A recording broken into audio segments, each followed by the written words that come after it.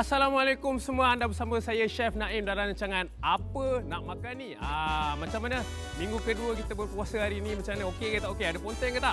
Ah, jadi untuk Apa Nak Makan Ni saya takkan kesorangan. Saya akan bersama dengan artis jemputan kita. Ah, jadi untuk pagi ni saya akan bersama dengan Afifah Nasir. Hai, khabar? Assalamualaikum semua khabar baik. Macam mana puasa okey? Alhamdulillah, Ah, tak ponteng lagi. kedua dah ni kan. Ah, jadi Afifah sebenarnya saya jemput anda ke sini sebenarnya kita nak kena pergi pasar juga sebab kita Pasar? nak pergi beli barang kita.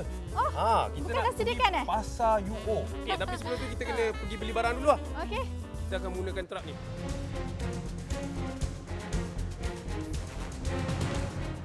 Kita akan uh, beli barang untuk tiga menu kita lah. Saya akan buat uh, kuih tiaw kung fu, lepas tu kita punya tahu uh, tahu goreng dan juga pencuci mulut kita kuih keria.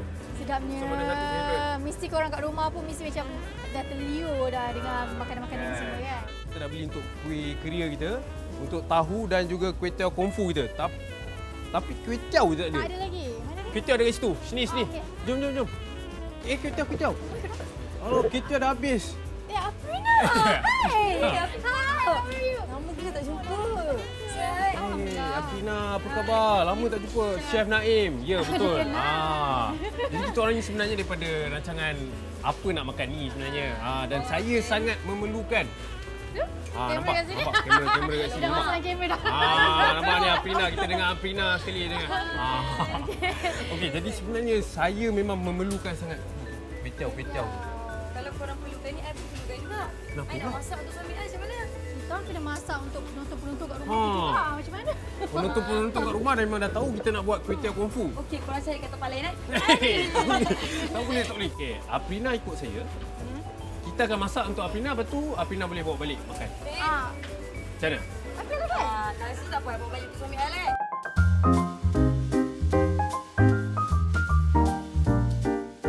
kita dah sampai pun dekat set apa nak makan ni. Ha, saya hari ini bertuah sikit. Ha, walaupun cuaca panas tapi saya rasa sejuk-sejuk sikit. Sebab saya ditemani dengan dua orang artis sebelah saya ni. Ha, ni Aprina ada belah kanan saya dan juga Afifah Nasir sebelah kiri saya. Okey, jadi kita dah balik pun daripada pasar raya tadi. Kita pun dah bergaduh-gaduh tadi dengan Aprina. Jadi untuk menu utama ni yang kita akan tunjukkan adalah kita punya tahu sumbat goreng ni.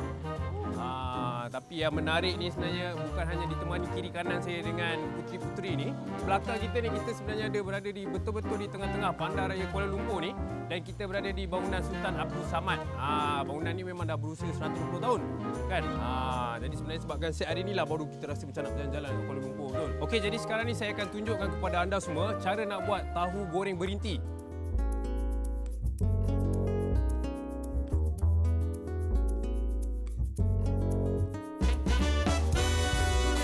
Okey, jadi yang kita nak kena potong sebenarnya adalah kita punya bawang ni. Right? Cara nak buat tahu sumbat ni sebenarnya tak susah pun.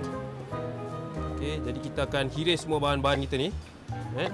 Rina, apa perkembangan terbaru sebenarnya? Okey, saya baru je habis shoot untuk Dan Sadian Beraya. Mhm. Untuk keluar di, uh, I mean raya nantilah. Aha. Jadi sebenarnya kalau bulan-bulan puasa ni uh, biasa masak kat rumah ke, pergi bazar ke? Uh, masak lah. Kalau masa kita masak lah. Kalau tak kita, kan bazar kan banyak. Okay, tapi ni kalau dah belajar masak ni, Okey. ha, ni boleh cuba buat lepas ni. Eh? Okey, jadi kita dah masukkan bawang putih dan seterusnya saya akan masukkan sekali. Cili. Korang makan pedas tak? Eh, pedas-pedas. Letak banyak-banyak.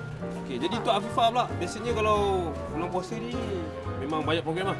Ah, bulan puasa sebab nak dekat raya memang selalu banyak program. Banyak program Macam lah. ada kan.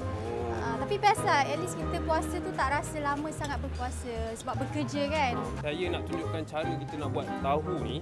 Sebab biasanya kalau tahu dia akan pakai macam-macam jenis tahu lah yang ada ini adalah tahu lembut. Ah, Dan ada juga tahu pop yang garing tu yang yang pakai untuk masak kari kan. Yang Oh, pun sebenarnya sedap juga kalau pakai. Tapi kalau kita gunakan tahu ni sebenarnya kita nak kena goreng dulu.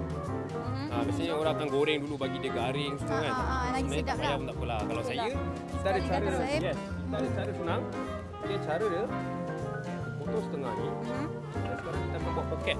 Oh, okey. Nak masuk kat Yes, sini. kita akan semak ke dalam tu. Okey. Eh, Tapi untuk poket dia kita akan pakai balik lah eh kita punya filling ni. Ah cuba awak buat. Oh, saya. Ah you buat. Okey. Ah lepas tu you pun buat satu lagi nah. Okey. Ah okey. Okey, so nak korek kat tengah ni. Ah yes, tapi jangan sampai dia terputus eh. Lepas tu Oh, filling okey, masuk faham. di dalam. Faham.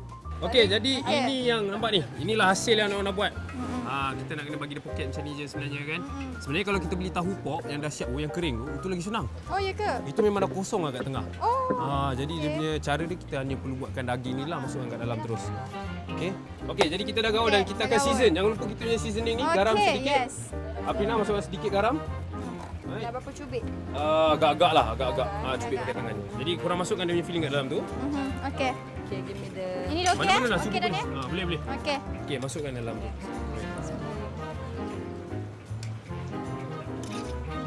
Dan sekarang untuk telur saya akan pecahkan ya. Oh, cakap tak ada telur ke? Ha, ni, ni. Sebab telur dia buat sedap tu sebenarnya. Betul. Itu yang akan buatkan dia ada kerongopan-kerongopan tu. Yes. Garam dah ada lah, hitam pun ada dalam telur ni. Okey. Now, Mesti penonton kat rumah pun terliur kan tengok kita tengah buat ni. okey jadi minyak ni memang betul-betul dah panas dan Okey. kita akan salut dalam Celup telur ni, ya. So kita celup dia macam ni. Masukkan ke Bapak hari ni baru belajar masak hari ni nak kapau semua orang dah. eh, gatal ke? Ha, nampak? Okey, sambung je habiskan Apa semua. Ni sebenarnya dah ada salt dalam ke tak Ah, ada? dia dah ada garam sedikit Dah ada kan? garam. Dia dah ada kita dia memang dah campur. Yes. Masukkan je Fifa. Okey, nice. Nice, Nampak? Oh, nampak kita gaul dia macam ni. Kita akan goreng dia sampai dia garing. Ha ah. Eh, Okey. macam ni. Ha, warna-warna yang dah garing-garing macam ni lebih kurang lah.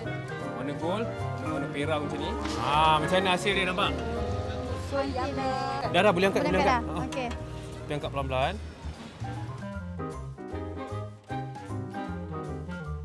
Susun dia macam Macam ni? macam ni, macam ni, macam ni.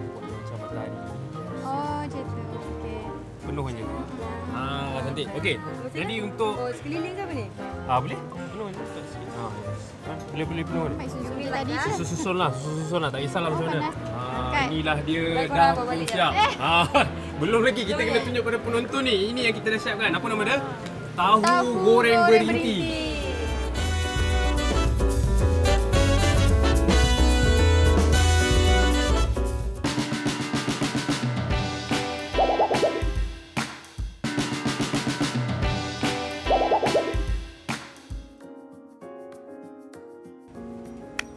Kedua kita.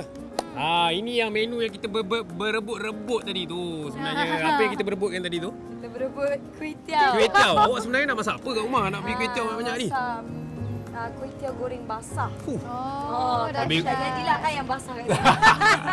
Lebih kurang. Tapi I pelik sebab Ha. nampak korang-dorang tadi akan dating. Oh, yes. Oh, tidak. Ah, kita Kita sebenarnya beli cari kuih tiaw juga. ni. Ah, Ah. sebab kita nak buat kuih tiaw kungfu.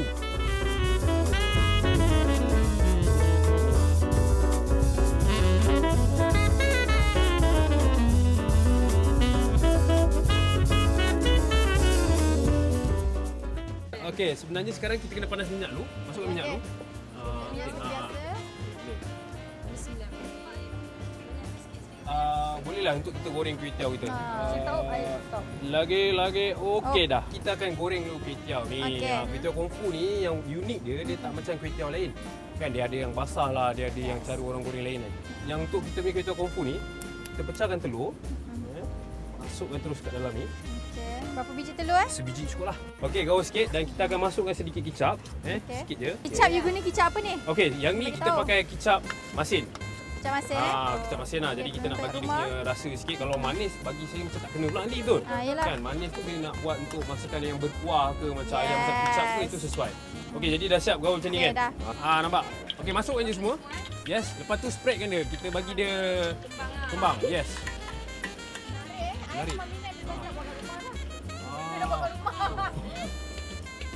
Sebab kadang-kadang bukan apa tau. Ini salah satu menu untuk kita raya juga sebenarnya. Sebab kadang-kadang orang datang raya ni dia tak keritu, dia tak ikut time. Kalau orang rasa nak datang, ha, jadi apa yang kita boleh buat sebenarnya? Ha, inilah dia antara menu-menu yang kita boleh buat. Okey, jadi kita dah siap pun. Ha, nampak? Sambil borak-borak ni. Apa diorang borak, diorang gosip-gosip ni. Okey, Eh, kuih tiaw. Kuih tiaw goreng nampak? Okay, Ha, angkat terus. Tunjukkan kepada penonton nampak. Ha, dia jadi macam ni. Dia mesti kena jadi macam ni macam telur dadah. Tapi sebenarnya hanya kat dalam ni ada dia punya kuih tiaw dan juga telur yang kita gaul sedikit kicap. Okey, jadi sekarang kita akan kurangkan sedikit minyak dalam kuali ni sebab kita nak buat dia punya kuah pula. Dan kita akan buat yang paling senang sebenarnya adalah kita kena tumis ayam dulu. Eh, tuang dalam keadaan dadu lah eh, bentuk dadu sebab sebenarnya bukan apa dadu ni nak bagi dia cepat masak kan ha. okey potong macam ni lepas dah potong dadu kita hiris je alright so kita masukkan ayam okey lah Okey, jadi kita dah masukkan ayam, kita tumis sambil-sambil nak tumis ni saya nak tanya jugalah persiapan hari raya korang ni macam mana? Macam mana Dah persiapan? memandangkan dah nak dekat raya, baju pun dah siap dah. Ish. Cuma- Lagi dua minggu. Yelah, awal-awal lah dah tempah dah. Lambat-lambat nanti tak ada ni, apa? Tak ada orang nak ambil dah. Oh. Apina macam mana? Okey. Oh, Nak saya tolong ke? um, biasalah. Saya suka dengan favorite baju saya bila jalan ramai. Oh. Kita akan masuk sekali ni, bawang putih. Tuang tengah. Eh, boleh, boleh, boleh. Sampai. Ah, tak apa, kau potong je lepas ni. Okay. Okey, tahu je. Ah ni, Fifa nak potong tadi kan? Ah ni. Fifa potong cili. Okey. Ah, nampak ni first time ke buat ni?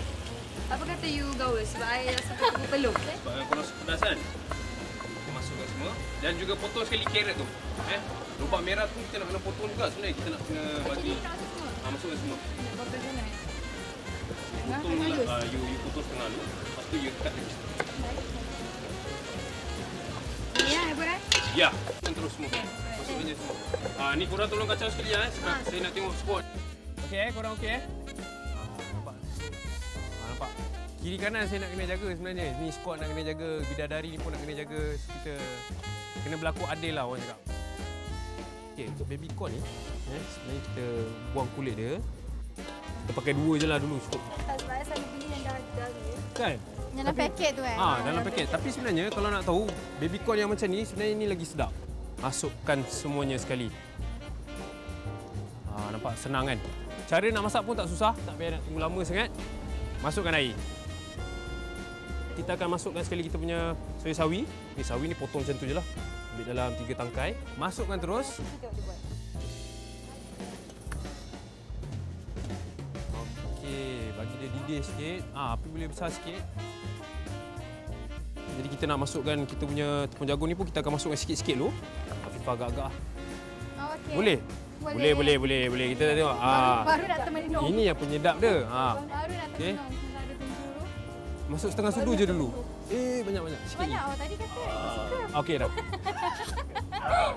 Okey, gaul. Okey. Ah, kita tengok dia. Ha. Gaul dia tengok dia pekat ke tak? Eh, gaul sikit. Kan. Okey, jangan lupa juga ni sedikit garam. Ha. Ha, letak sikit. Sop eh. Lagi? Macam mana rasa dia? Lagi ke? Uh, awak rasa okey? Tapi kalau saya, saya rasa macam ni tak cukup. Kita akan pecahkan telur lah satu. Yes. Ah, nampak? Okey, okey. Ni pesanan dia. Favorite telur. Tema telur hari ni. Okey.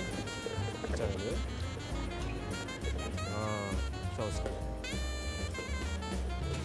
Ah, nampak tak? Cantik. Ah, ni betul. Okey dah, dia jangan kacau sangat. Biarkan dia masak Okey. sikit telur tu supaya nanti bila dia masak, dia akan nampak serat-serat serat-serat telur tu. Oh, okey. Kalau kita kacau nanti dia akan jadi serata sangat.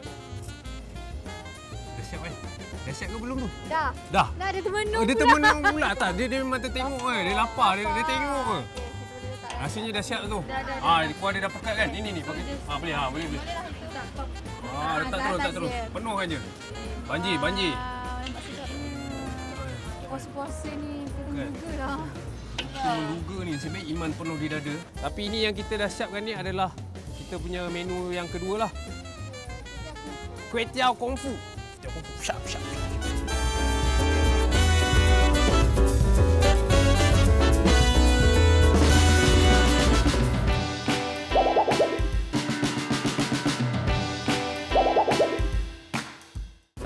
kita buat kuih keria sebenarnya? Sebab bagi saya kuih keria ni dah hampir dilupakan juga lah sebenarnya kan. Dan lagi satu sebabkan bulan puasa ni kita suka makan benda manis. Sebab tu betul dalam masa yang sama juga dia akan buatkan kita lagi manis.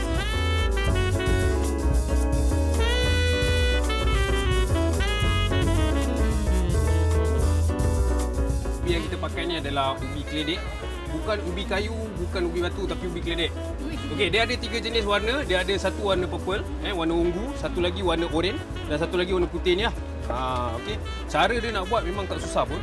Okey, kita akan iris nipis sebab kita nak rebus dia. Okey, sebenarnya paling lama lah sebenarnya proses yang paling lama sebenarnya nak buat adalah nak merebus tu je sebenarnya.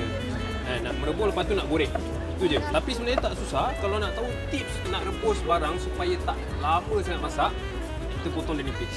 Jadi dah masuk semua ni. Terus masukkan ke dalam air yang kita dah didih tadi siap-siap. Sebab kalau kita nak tunggu lambat. Betul. Ha, ha, betul. Okey, jadi untuk dalam air tu pula, ah, kita dah masukkan garam sikit. Biarkan dia masak dulu selama 10 minit. 10 minit je? Ah, 10 minit je. Tak lama pun. Tunjuk, tunjuk, tunjuk, tunjuk apa Okey, yang kita dah buat ni. Ni apa yang kita dah buat tadi. kita dah rebus dia selama tau. 10 minit dan ubi ni pun dah lembut. Eh, macam nak tahu dah lembut kita boleh pegang lah. Ataupun secara uh, umumnya kalau kita masak ni dia akan nampak dia dah pecah-pecah maksudnya dah ready. Okey, sebenarnya kalau nak senang, kalau nak gaul dia, kalau nak bagi dia hancur, nak bagi dia jadi mash, memang waktu panas. Yes. Ah, jadi sekarang kita boleh Senang. hancurkan dia. Okey. Cuba, macam mana? Okey. Ah. Sebab Boleh? kalau dia sejuk, dia punya kanji tu dah sejuk, nanti dia akan lagi cepat Lagi, melekat kat yes. semua. So dia susah sikit lah. Okey, jadi dekat depan saya ni ada dua jenis tepung yang berbeza. Kita ada tepung gandum dan juga tepung beras. Ha, kita akan pakai tepung gandum ni lebih, tepung beras ni lebih kurang kalau satu cawan tepung uh, gandum, Mhm. satu sudu tepung beras lah. Lebih kurang Okey. satu lah dia punya anggaran dia. Ha, dan sebelah kanan sana, sebelah Fifa, kita dah panaskan minyak. Minyak dia. Okey, sebab kita nak goreng lepas ni. Okey, so kita pakai tangan je lah. Eh? Ah, nampak? So, Lagi pakai senang. Tangan lagi senang. Supaya, sebab bila kita pakai tangan, kita boleh tahu oh, ni macam ni dia melekat-lekat lagi. Dan maksudnya tak cukup tepung. Ah, ini yang kita dah uli tadi. Dan juga tepung gandum biasa dalam ni. Sampai satu tahap dia kita macam tekan-tekan ni, melekat-lekat ni biasa ni pada awal tadi. Tapi bila kita pegang balik, tangan dah masuk belum? Dah, dah masuk Ah, dah saya nak minta tolong korang lah sebab nak kena buat banyak ni. Okey. Okey, cara dia eh ambil sedikit bulat ni agak-agak dalam 20 gram ataupun ke 25 gram tak kisahlah. Kalau rasa nak buat besar boleh buat besar. Bukan atau tak sangat lah. Okey lah. Okey lah. Okey lah. Okey jadi bu- bulatkan dia. Ah, ni first time kan buat ni kan. First time. Tekan sikit. Tekan flat dia. Right. Dah flat ni, ah, buat je lubang dia. So kita akan dapat rumput macam ni. Ini adalah yang pertama. Apa ni? Ah, berjaya, berjaya. Ah, berjaya. Okey, kita kena buat semua ni. Okey. So, jadi bila kita dah siap uli dia semua, kita dah bentukkan dalam bentuk donat yang kecil ni. Sebenarnya kita kena goreng ni lah. Kita goreng dia dulu sampai dia betul-betul garing, sampai dia bertukar warna keemasan. Lepas tu kita akan buat dia punya gula pula. Okey, kali ni kita akan buat dia punya yang untuk ni pula kita akan buat dia punya gula. Eh? Sebab macam macam kita tahu kalau kita buat untuk kuih keria ni, dia akan ada gula dia betul. Ha-ha. Yang kita buat ni dia punya caramelize lah. Eh, Cara dia sebenarnya kita dah masukkan gula ni dan kita akan letak sedikit air. Eh, Kita akan buat air gula lah senang cerita. Tapi lepas kita dah buat tu, kita akan reduce dia. Bagi dia bagi dia sampai dia kering. Okay. Oh, okey. Okey, jadi nampak ni, dia punya gula pun dah makin reduce eh. Dia dah makin kurang dah. Jadi kalau anda dekat rumah sana kalau nak buat air gula, tak ada masalah buat cara dia senang je. Sebab kadang-kadang ada orang buat tak jadi tau. Ah. Sebab dia tak letak air sedikit dalam tu. Tapi biasa kalau kuih kerik dia akan dapat dia punya flake-flake tu kan. Dia punya Ah, kriuk yes. kriuk kan. Okey, ah. cara nak dapat yang kriuk-kriuk tu, reducekan lagi. Ha ni dah nak jadi ni. Ha, kurangkan lagi dia punya gula ni sampai gul- gula ni kering. Ha ni kita boleh angkat, boleh tinggal. Okey. Kita nak angkat kita rata-ratakan dia sikit. Presentation. Yes. Yes, dia akan sticky-sticky tapi bila dia kering nanti, ha, bila dia kering dia akan dapatlah dia punya flake-flake tu. Hmm. Okey, jadi sekarang ni kita dah boleh angkat dah semua ni.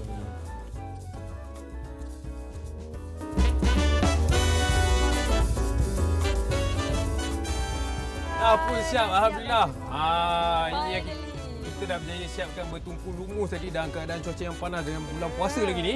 Apa yang kita dah buat adalah ni, apa ni? Tahu goreng berinti.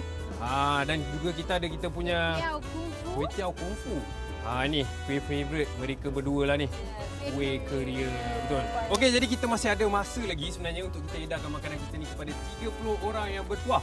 Ha untuk rasa sendirilah masakan kita hari ini. Jadi untuk penonton di rumah jangan lupa saksikan kami di hari dan waktu yang sama Bersama guest artis yang lain. Dalam rancangan Apa Nak Makan Ni hanya di TV3. Selamat berbuka. Bye. Assalamualaikum. Assalamualaikum.